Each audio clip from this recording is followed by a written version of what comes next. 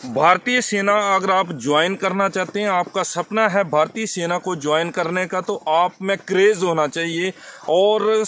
भारतीय सेना में जाने के लिए जो है एक आप पूरी तरह से जो है रोचक होने चाहिए इंटरेस्ट होना चाहिए और किसी भी तरह की एक्सरसाइज जो है वो आपको बेनिफिट देती है। आप इस इस एक्सरसाइज में देख रहे हैं, इसमें पूरा, पूरे बॉडी का जो एक्सरसाइज होता है और